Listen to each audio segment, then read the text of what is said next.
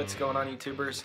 So in part two of this uh, vlog of me getting the new pedal, um, I wanted to discuss uh, a few things on people if they were thinking about uh, switching pedals or uh, how I decided why I want to switch to a new pedal and uh, some ideas of where I was coming from uh, before I got this.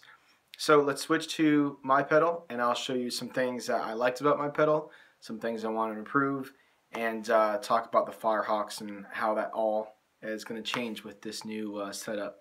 So let's get to it. Right out of the gate, I wanted to stay digital. Analog uh, still does not appease me. The expensive nature of pedals, um, the various amount of power supply and cords, um, just like this one has, uh, still is a little bit too chaotic. I want to keep it simple, um, easy to plug in and out as uh, as I could.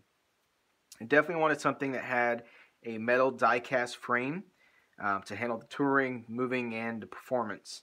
So I, that was necessary. Um, wanted something with individual foot switches uh, for the effects, the amp, and selecting uh, patches, as well as a foot pedal for uh, something that could change to volume and wah.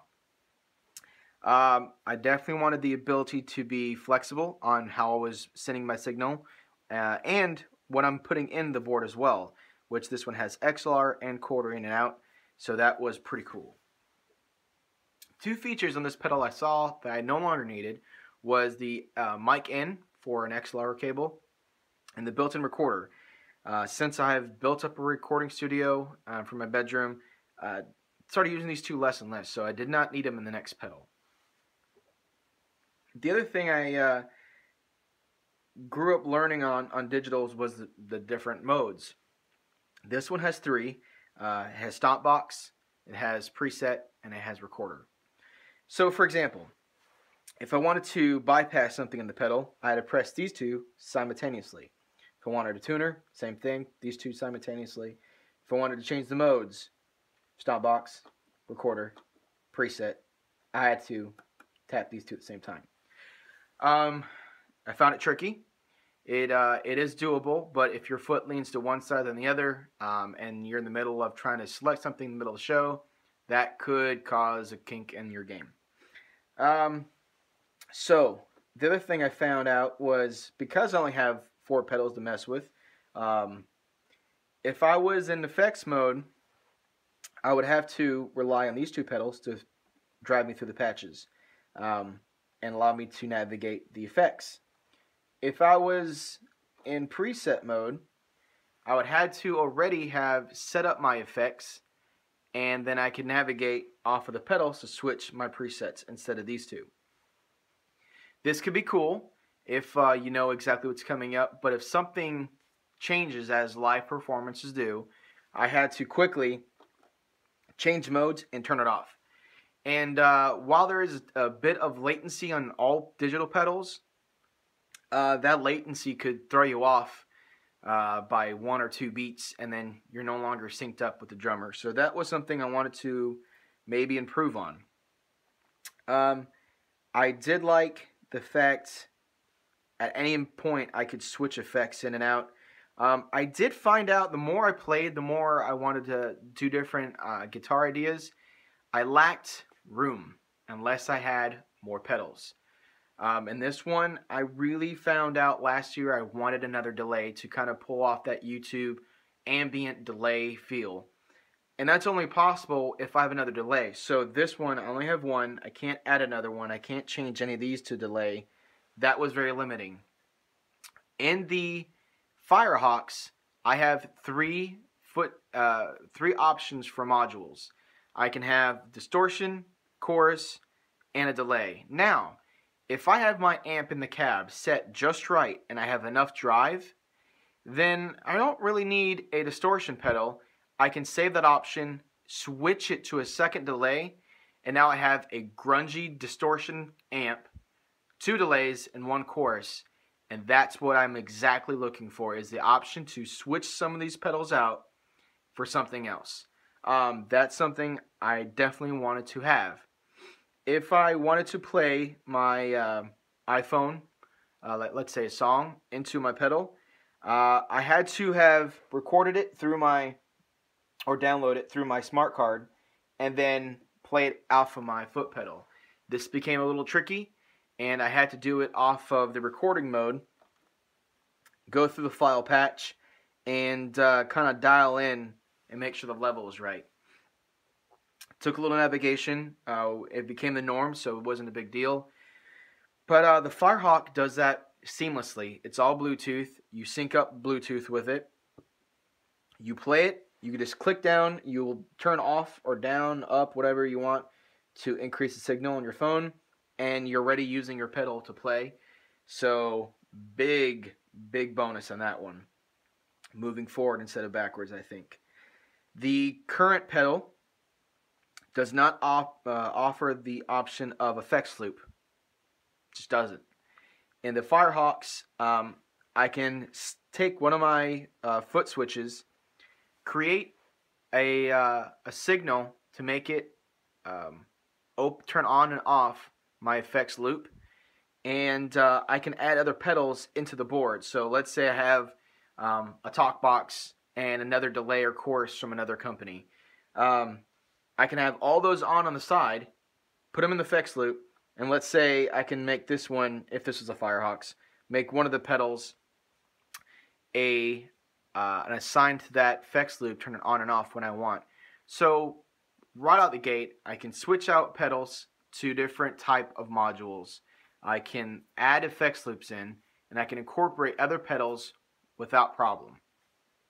That was another big one. Um, the ability to have two rows instead of this one. Uh, as you can see, the GNX only has one row. I have three different modes. On the Firehawks, I have my my different patches. I have my effects buttons, and on the bottom row that this one doesn't have will be my additional presets. So that was a pretty big eye opener. And uh, like I said in the past, use other people's equipment, test out what you're thinking you want to try, and get a feel for it after using the pedals, uh, other Line 6 pedals especially.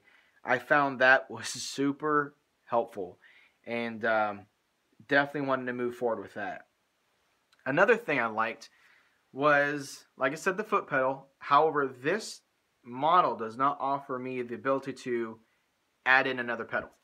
Um, I could by doing a chain, um, but like I said, I, am trying to keep it simple. The Firehawk not only has one foot pedal, but it also has another input for a second Line 6 put, uh, foot pedal controller. So I can have one specifically for a wah and one for a volume and go back and forth without a problem. So that was a huge, big uh, big bonus on that one. The software on this one I had to buy through another sound engineer and upgrade all of the amps and cabs. And uh, some of the effects uh, kind of aged, definitely can tell that. But with a little bit tweaking, I got them to sound pretty damn good. With the new Firehawks, everything's updated. There's a lot of HD models, um, especially with how we can tweak it on on the phone.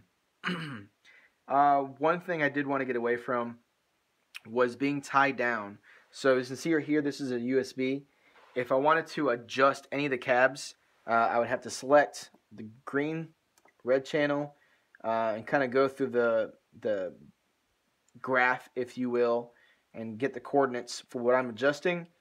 Kind of dial in um, the numbers. And um, this one it was a little crazy.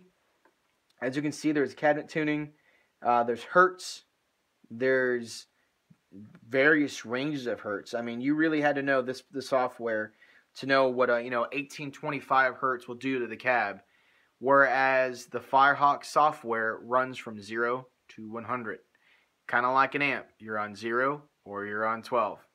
Um, that pretty much puts a lot of things in perspective as a dial. So that was a big. Um, ease in kind of switching software. The ability to use my iPhone, update different cabs, whereas I had to plug this into a computer and upload and, and kind of download different amp and patches was a bit uh, painstaking. If I wanted to do that on stage with this pedal, I couldn't. I had to know exactly what I wanted to switch, or if I had a custom patch, I had to wait till I got home and downloaded it from the CD. The Firehawks, seamless. Everything works with cloud. I can change it in an instant. All right, viewers, that's all I have for you in this video today. Um, I hope you enjoyed it. I'm looking forward to part three so I can get the unit here and show you guys what it looks like and what it sounds like. Um, hopefully you took something away from this video, whether you have digital, rack, uh, analog, whatever, and you're looking to probably move to another unit, um, maybe incorporate a new pedal.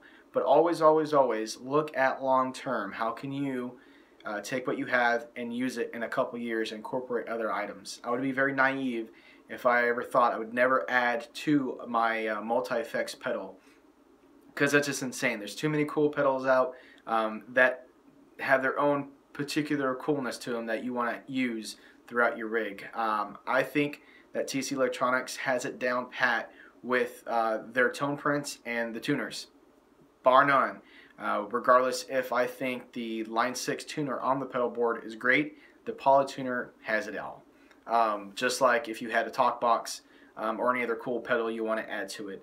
So um, that is a huge point. Don't kind of be tunnel uh, vision when it comes to using other pedals, but take time, research, use other people's pedals, get advice. Definitely look at forums and other videos um, to get someone's perspective and maybe you haven't thought about. But thank you for viewing. If you liked the video, hit subscribe or like button. Take care. Talk to you guys later.